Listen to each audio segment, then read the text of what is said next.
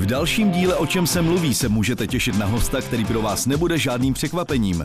Jeho hlas a tvář vás provázejí na programu Sport 5 od samého počátku.